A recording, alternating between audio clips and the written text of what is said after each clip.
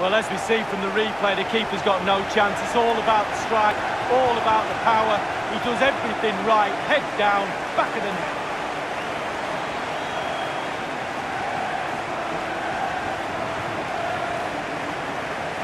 Well, they've